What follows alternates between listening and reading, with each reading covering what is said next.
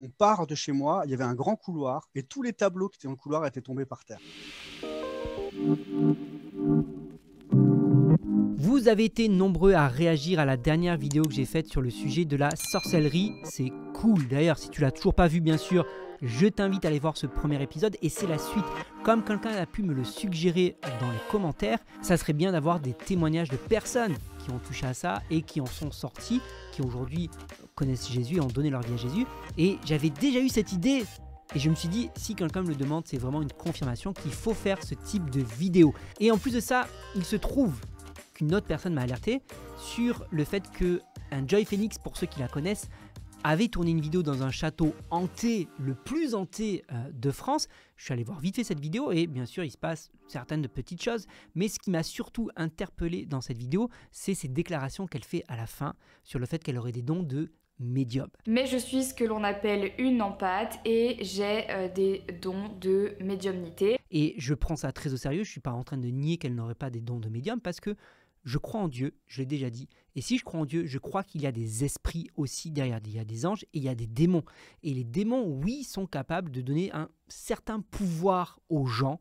Et euh, ce n'est pas quelque chose de bénéfique. Et donc, j'ai pensé et j'ai trouvé quelqu'un qui est pile, mais pile, la bonne personne pour parler de ça. Il a d'ailleurs une chaîne YouTube. Et oui, une chaîne YouTube qui mérite d'être connue. Son témoignage est vraiment incroyable. Et sans plus attendre, je présente Baptiste. Bonjour, bonjour Nicolas. Salut Baptiste, comment ça va?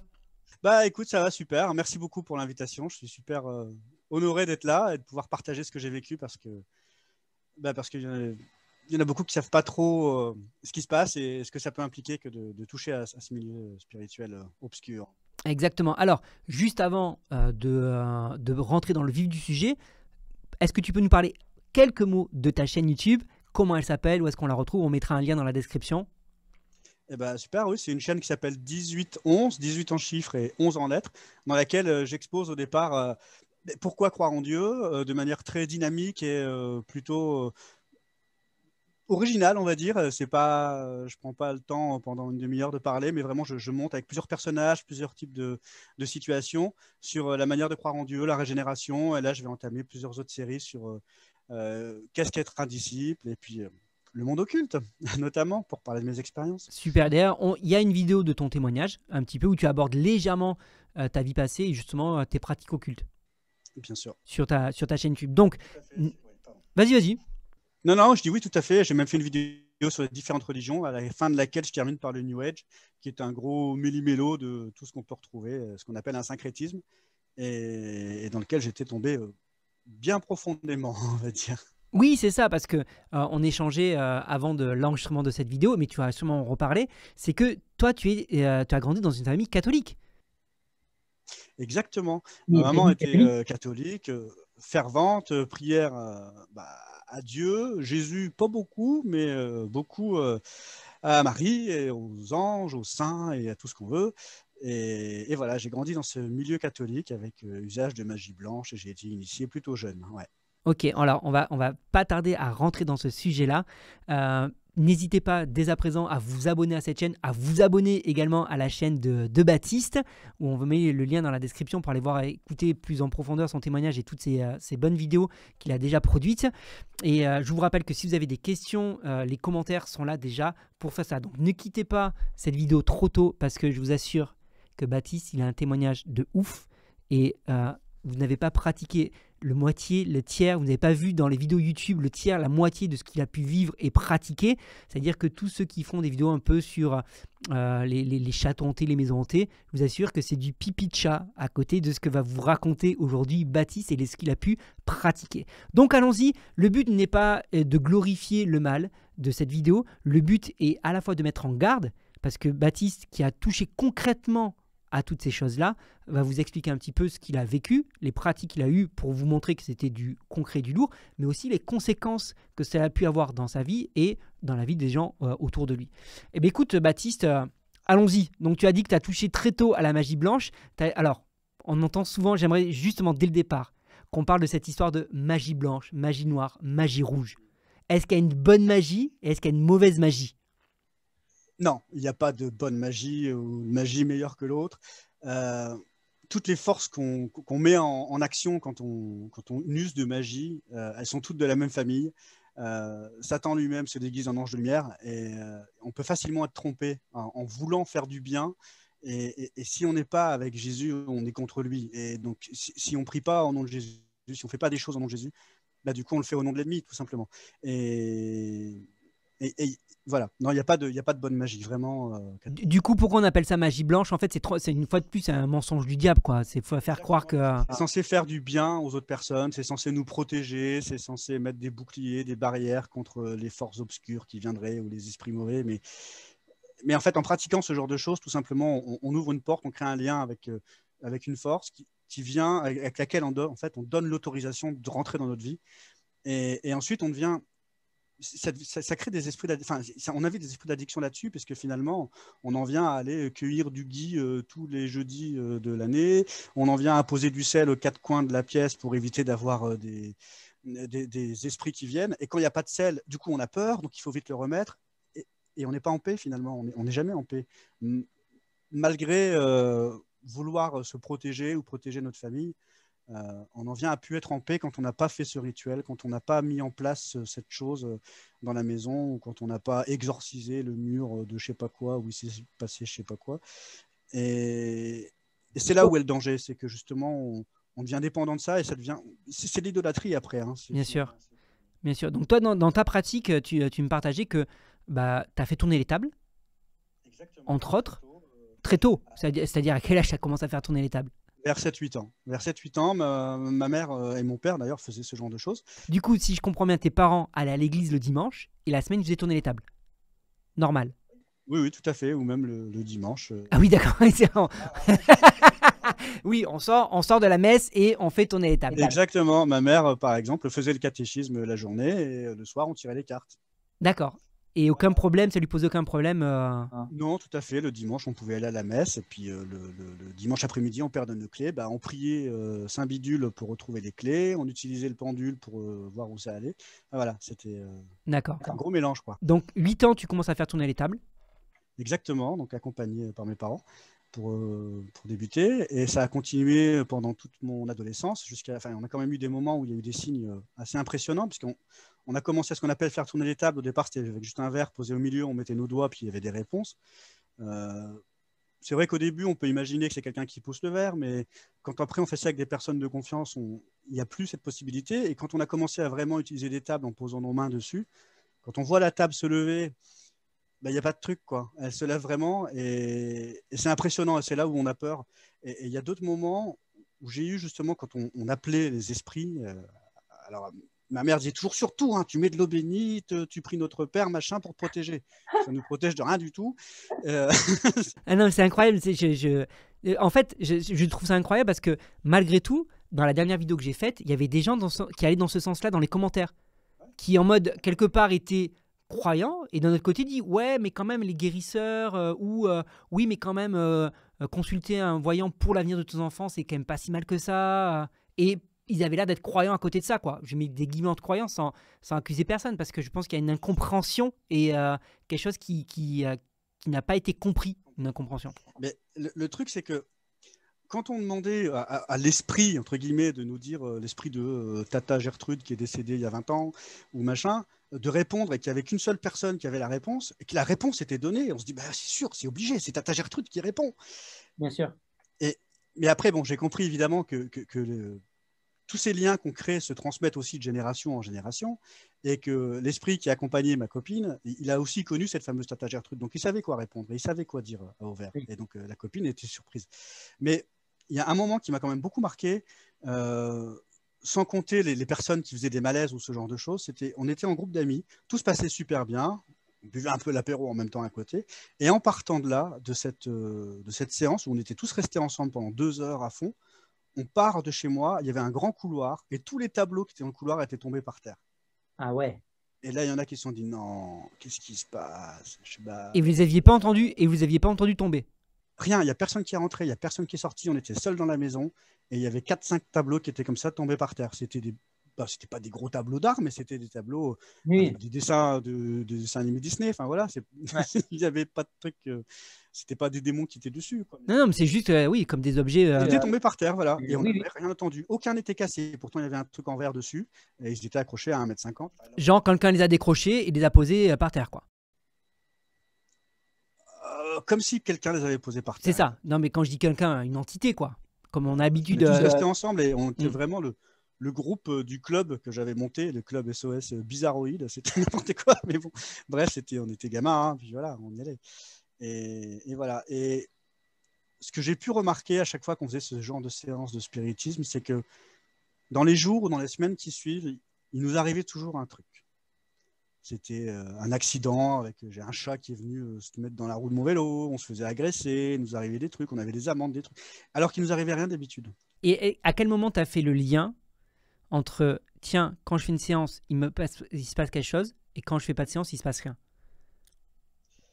C'est ma mère qui m'avait mis sur le, sur le truc. Elle me dit Est-ce que tu es sûr d'avoir bien fait la protection? Elle me dit à la fin Brûle le verre. Donc je prenais un feu pour brûler le verre et pour cramer l'esprit. Finalement, ça, ça, se transformait différemment, puisque j'en suis venu à avoir des crises d'angoisse. Euh, mais ensuite, mes parents se sont séparés. Et puis, je dessinais beaucoup. Je m'étais aussi mis à faire des bandes dessinées, mais je dessinais des personnes qui étaient crucifiées la tête à l'envers, des femmes qui étaient violées, qui avaient des membres arrachés. C'est pas des dessins qu'on fait quand on a 14 ans, enfin, normalement. En principe, oui, non, en principe, non. Effectivement, je confirme.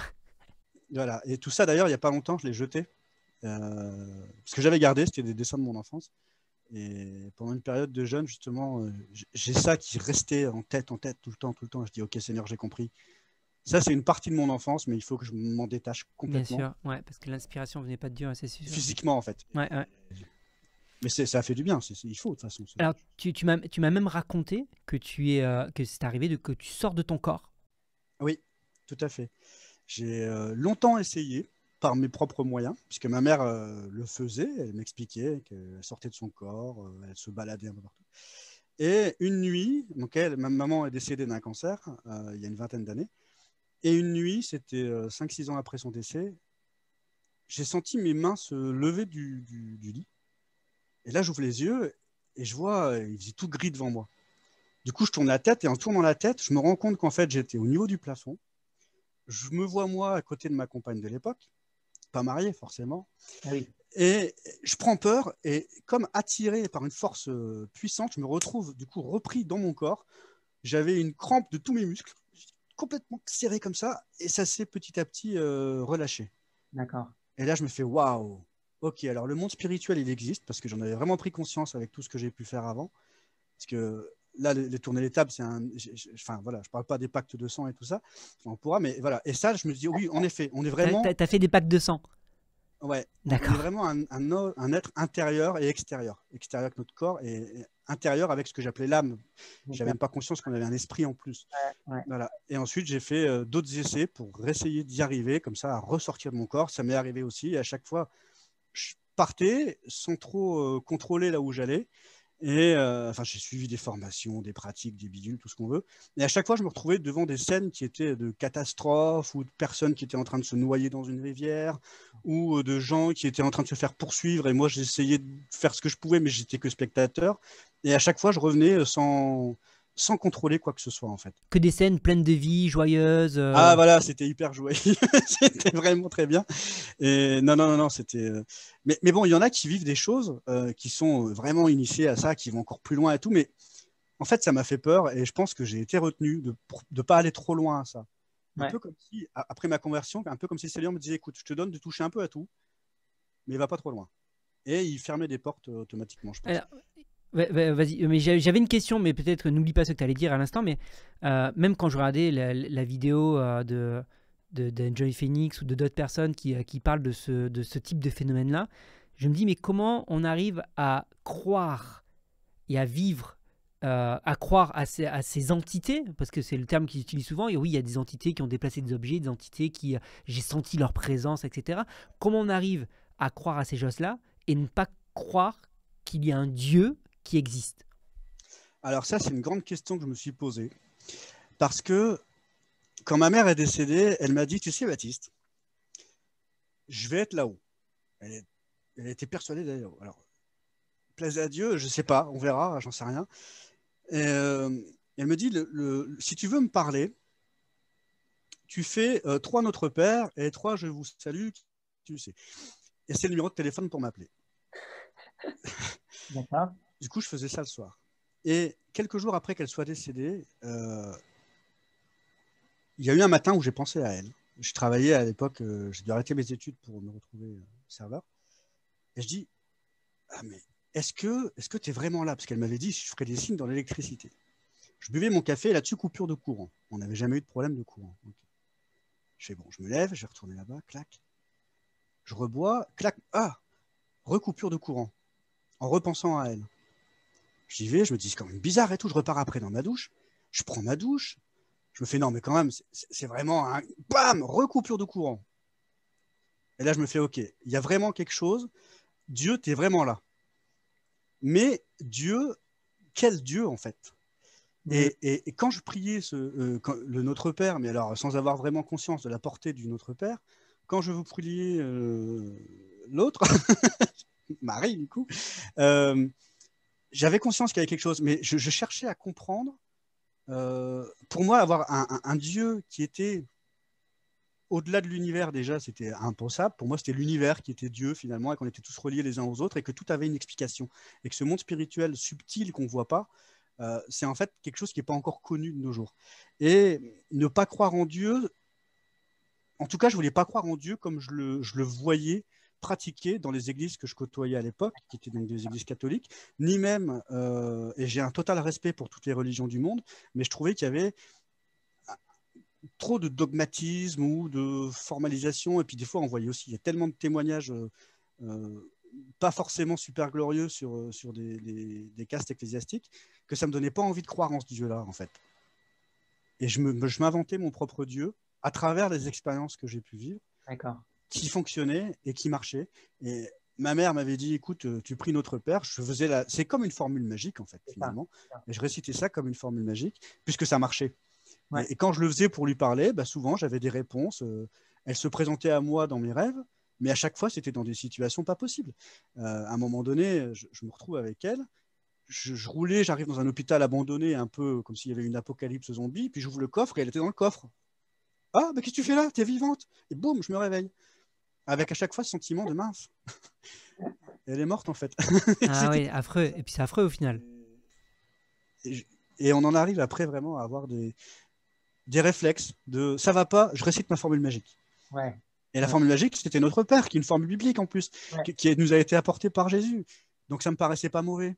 Ouais, non, il n'est pas mauvais notre Père. Après, c'est quoi l'intention de cœur qu'on y C'est ça, c'est ça. Si tu utilises ça comme une formule magique, forcément ça marche pas. Est-ce que tu peux nous parler un peu plus euh, des conséquences de toutes ces pratiques-là dans ta vie ou dans celle des autres. Tu nous as dit tout à l'heure que tu as remarqué qu'il se passait tout le temps quelque chose, mais est-ce que tu as vu d'autres conséquences euh, Aujourd'hui, avec le recul, est-ce que tu peux dire, oui, je reconnais que ça, c'est telle conséquence était due à ça, telle conséquence était due à ça? Est-ce que tu peux nous en parler un petit peu pour que les gens prennent conscience que toucher à ces choses-là n'est pas quelque chose d'anodin et pas juste un chat qui vient dans ton vélo, mais tu nous l'as raconté et j'y crois, il n'y a pas de problème. Mais parfois, tu dis, ouais, bon, ça va, un chat qui vient dans le vélo, si ça m'arrive, c'est pas si grave que ça, quoi, tu vois? Mais est-ce que tu peux nous parler un peu des conséquences que ça a eu dans ta vie? Euh, Ouais, complètement, parce que en fait, le monde spirituel, euh, quand on commence à y toucher, quand on ouvre les portes, c'est jamais gratuit. C'est jamais gratuit et outre les, choses qu'on peut vivre dans notre vie, les, circonstances qui viennent, c'est quelque chose qui va s'insinuer vraiment en nous, euh, dans le sens où on commence à alimenter des sentiments d'insécurité, des sentiments d'incapacité. On se sent pas bien, on se sent déprimé, on se sent incapable, on, a peur, on, se met en colère des fois sans raison, alors qu'avant ce n'était pas le cas, on devient jaloux. Et on réalise qu'en entraînant les personnes autour de nous dans, ce qu'on fait, puisque on est content de le faire, on le fait pour le bien, et on va imposer les mains. Alors imposer les mains, c'est vraiment un terme, un terme que, biblique que j'ai trouvé, mais euh, ou, même les magnétiseurs le font. On transmet des choses à ces personnes. Euh, j'ai couché avec de nombreuses personnes à qui j'ai transmis des choses et, je vous demande pardon parce que j'avais pas conscience de ce que je faisais. Euh, il y avait beaucoup de séparation, il y avait beaucoup de colère, il y avait des, des, addictions qui venaient se mettre en place. autour de moi et, des personnes qui, à la base, n'étaient pas forcément sur un terrain fertile ou propre à ce genre de, choses. C'était des personnes qui étaient engagées, qui étaient fidèles, qui y allaient. Donc, tu es en train de dire que ça a eu des conséquences dans ta vie, mais ça a eu des conséquences dans la vie de ceux qui t'entouraient également. C'est-à-dire qu'il n'y a pas que toi qui as payé le prix, il y a aussi ceux qui, avec qui tu étais en contact qui ont payé le prix de ce, que, de ce que toi tu touchais. Exactement. Quand je tirais les cartes ou quand je, faisais de la, ce qu'on appelle la chiromancie, lire la ligne de la main, qui pour moi, soit dit en passant, était une technique de drague, hein, euh, mais avec des implications spirituelles derrière euh, fortes que, je n'avais pas conscience, je n'avais pas pris conscience de ça. Euh, je transmettais en fait des choses. C'est les, liens que j'avais créés se passaient à la personne en face. Moi, je le perdais pas, mais je créais quelque chose avec la personne en face, qui du coup, la personne en face se retrouvait dans des situations de couple où elle était en proie à de la jalousie, où elle vivait de la persécution, où elle vivait des choses, alors qu'au départ, elle, avait jamais vécu ce genre de choses. Alors on peut se dire oui, bon, c'est pas grave, ça peut arriver. Ouais, c'est le temps, etc. Ça va tous les coups. Ça arrive à une personne, d'accord, mais quand ça arrive à 5, 6, 7, 10 personnes, et qu'à chaque fois c'est des personnes avec qui on a fait ce genre de choses, ouais on commence à se poser des questions quand même. Mais c'est que, ça vient pas comme ça d'un coup, euh, comme un spectacle avec un gros feu d'artifice. Non, non, non, non. C'est hyper subtil. Et ça se fait vraiment avec le temps, avec les années. Et, c'est vraiment quand je, quand je me suis converti que j'ai vu le poteau rose, en fait, que tout c'est le. Je mais oui, mais, mais pourquoi j'ai pas vu ça avant? C'est tellement clair maintenant. Mais quand on est dedans, quand on a encore ce voile, quand on quand on sait pas, bah on sait pas quoi. Et, le pire, c'est d'y aller en étant averti. Alors là, euh, on y va de plein cœur et c'est pas bon, encore pire, il faut vraiment faire attention. Donc là, là, tu peux confirmer et à tous ceux qui nous regardent et qui, euh, qui touchent à ça ou qui sont tentés par ça parce que c'est cool, parce que c'est fun, parce qu'on va se faire un petit peu un frisson, tu, dis quoi à toutes ces personnes aujourd'hui? Non, je dis qu'il faut surtout, surtout, surtout ne pas toucher à ça. Vraiment, c'est. Euh, ça me fait. Euh, c'est vraiment très dangereux euh, parce que les implications qu'il va y avoir derrière, le prix que vous allez payer en touchant à ce genre de choses, euh, c'est un prix que vous verrez pas tout de suite, qui va arriver avec le temps et qui va se traduire autour de vous. Et vous allez petit à petit, et ça c'est quelque chose qui m'est arrivé beaucoup, en tout cas quand j'étais pas encore à Christ, c'est que je pouvais pas entendre parler de Jésus. Jésus, ça me donnait des boutons. C'était impossible de parler de lui. Et, c'est là où on a un indicateur, savoir, parce que des fois, on peut avoir des choses avec quelqu'un qui est jaloux ou qui est en colère, bah, bah, c'est son caractère. Il n'est pas forcément euh, habité par un démon de colère ou un esprit euh, de, jalousie. Mais le fait d'avoir cette aversion au nom de Jésus, euh, c'est un indicateur puissant quand même. Et, le moment, le jour où vous commencerez à regarder des choses, à lire des livres ou à vous intéresser à ce genre de choses, avec des pensées en tête qui vous disent oui, en fait, Jésus, non, ou euh, euh, c'est peut-être qu'un mytho, ou euh, j'en sais rien. Quand vous aurez des mauvaises pensées par rapport à ça, là, c'est là, c'est que vous êtes déjà sur le mauvais chemin. Donc, il y, a urgence, il faut, faut, vite réagir. Parce que... Hmm. Ok, merci, merci Baptiste pour, pour cette expérience. Et comment tu t'en es sorti du coup? Eh ben alors ça... si, on, peut la faire courte, la version courte. La version courte, ok. Je le redis, abonnez-vous à sa chaîne YouTube euh, si vous voulez en savoir plus sur la, vie de Baptiste.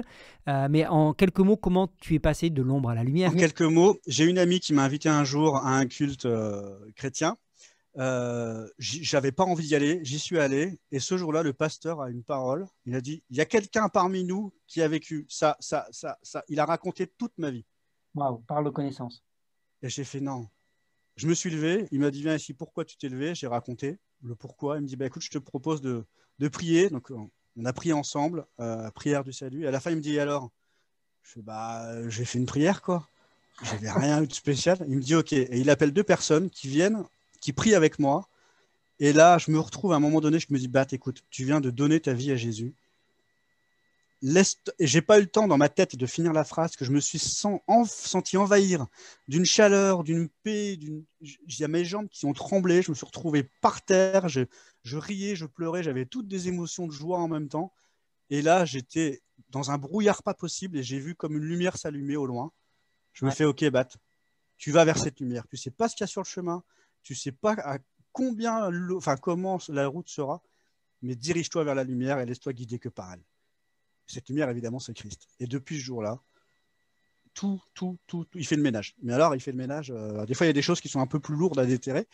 Mais, mais c'est comme ça que j'ai vraiment pris conscience de, tout, tout, ce côté obscur du monde spirituel et, et, des expériences que les gens peuvent faire. Et, et faut, que je, faut en parler vraiment parce que c'est très très bien ce qui se passe là en ce moment parce que c'est un sujet qui est très important et, beaucoup de personnes malheureusement se font avoir, euh, se font prendre par le filet quoi. Donc voilà. Est-ce qu'aujourd'hui ta vie passée te manque entre guillemets? Est-ce que les pratiques que tu faisais, sortir de ton corps, euh, lire les, lignes de la main, est-ce que tu as un côté regret de ça me manque, ah c'était quand même sympa, c'était quand même bien, c'était il y avait quand même du, du, du, frisson. Est-ce que tout ça, tu regardes ça un peu avec oh c'est dommage Non, au contraire. Euh, pas du tout. Je, alors, je remercie vraiment d'avoir vécu tout ça parce que sinon je pourrais pas en parler en ce moment.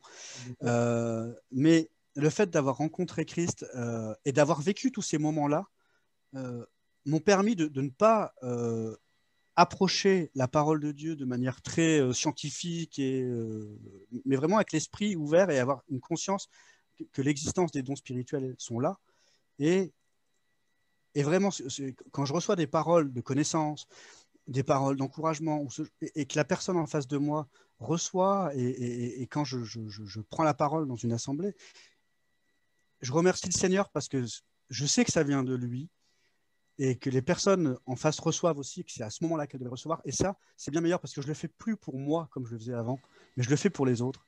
Et, et enfin, c'est autre chose. C'est autre chose puisque l'intention a complètement changé et, et j'ai vraiment une paix qui est là maintenant que j'avais pas avant puisque je, me couchais avec euh, des cauchemars, je me couchais avec euh, des, je me réveillais la nuit des fois euh, avec des expériences pas possibles où je nous ai tiré la tête dans tous les sens. c'était spirituel, mon corps bougeait pas, mais c'était là.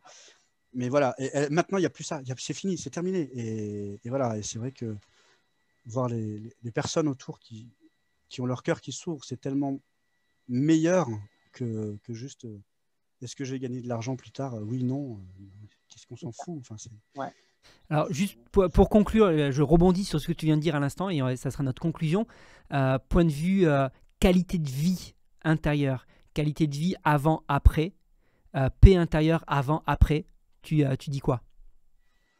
C'est incomparable. C'est incomparable. La qualité de vie avant-après, euh, n'a vraiment rien à voir. La, paix qu'on a avec Christ, le, le, fait de tout lui remettre finalement est vraiment de lui faire confiance et de marcher par l'esprit, marcher par la foi. Euh, on sait que c'est lui qui est au contrôle, c'est lui qui est aux commandes, c'est lui qui dirige notre barque. Et on n'est plus dépendant de X, Y ou Z, à qui on a fait euh, tantôt un pacte de machin, tantôt un pacte de trucs, et on sait qu'on va devoir payer un jour le, le prix de nos conséquences de ce qu'on a fait. Et à se demander mais qu'est-ce qui va m'arriver? Qu'est-ce j'ai fait ça mais qu'est-ce qui va m'arriver demain? Vivre toujours dans cette angoisse de savoir qu'est-ce qu'on va devoir payer en fait avec Christ il a déjà tout payé à la croix et il est là pour nous accompagner pour être avec nous pour nous tenir par la main pour nous épauler pour nous aider à tenir ferme mmh. et, et c'est ça qui est merveilleux c'est que j'ai quelqu'un sur qui je peux me reposer et qui me montre le chemin parce que il sait quel est le meilleur chemin pour moi et même si parfois j'ai pas l'impression que c'est le meilleur chemin pour moi maintenant dans ma vie bah avec le recul, je me rends compte que si, en fait. Et qu'il sait exactement ce qu'il fait, il sait où nous emmène, et que Dieu a un plan dans lequel on fait partie. La question, c'est est-ce qu'on marche avec lui ou pas dans ce plan? Excellent. Merci beaucoup, Baptiste, pour euh, ton témoignage, pour les expériences euh, que Dieu t'a permis de vivre, qui aujourd'hui peuvent mettre en garde ceux qui seraient attirés par ce monde-là, ceux qui auraient déjà touché à ce monde-là. Donc sachez-le, je le redis, et Baptiste l'a confirmé aujourd'hui, euh, que ce n'est pas anodin que tout ce qui est voyance, médiumnerie, tout ce qui est de euh, toucher, euh, faire tourner les tables, tirer les cartes, ce n'est pas anodin. Aller voir un guérisseur, un magnétiseur, ce n'est pas anodin. Vous ouvrez des portes à l'ennemi, vous ouvrez des portes aux démons, il faut dire les choses. Les entités qu'on appelle les entités que les, les gens nomment comme ça dans les vidéos, les autres vidéos YouTube, ce sont des démons. Il faut dire les choses, il faut dire les noms. Et les démons ne veulent pas ton bien. Un jour ou l'autre, Baptiste l'a dit et je le redis, un jour ou l'autre, tu devras payer le prix. Un jour ou l'autre, tu auras un prix à payer par rapport à ça. Mais ce n'est pas seulement pour te faire peur, on le voit bien avec Baptiste, il y a une solution, il y a un espoir, il y a une possibilité de s'en sortir et cette possibilité s'appelle Jésus. Tout simplement. Donc reviens, viens à Jésus, viens à lui, trouve des chrétiens autour de toi, il y en a plein partout, tu peux en trouver assez facilement. Euh, tu peux me demander euh, une église, euh, je peux te je peux te rediriger vers une église si tu as besoin, mais ne reste pas en tout cas seul dans, ce, dans cet état-là, parce que ce que Jésus a à t'offrir est tellement infiniment plus grand, plus, plus bon, meilleur que ce que tu pourras vivre avec toutes ces entités qui sont en réalité sont des démons. Si cette vidéo t'a plu, en tout cas, merci de bien sûr euh, lâcher un petit pouce, un commentaire. Euh, si tu as des questions, tu peux retrouver Baptiste sur euh, Facebook, également sur sa chaîne YouTube et je pense que tu le confirmes Baptiste, tu te feras un plaisir de pouvoir répondre aux questions des gens. Complètement, et je vais, euh, je vais creuser le sujet aussi sur plein d'autres thèmes. complètement, tout à fait, je suis disponible, il n'y a pas de souci. Donc n'hésitez pas à aller, le contacter, je le, redis encore, abonnez-vous à, euh, à, sa chaîne pour, euh, pour l'encourager aussi. Et bien sûr, partagez cette vidéo à un maximum de personnes autour de vous. Les gens doivent connaître la vérité. On est c'est dommage que des vidéos d'Enjoy Phoenix vont faire des, centaines de milliers de vues, voire peut-être des millions de vues, il faut que cette vidéo-là fasse autant de vues pour que les gens soient mis en garde, que les gens connaissent la vérité, parce que c'est la vérité qui libère, c'est la vérité qui rend libre, et la vérité, c'est Jésus, tout simplement. Merci, merci encore d'avoir regardé cette vidéo. Je vous dis à bientôt.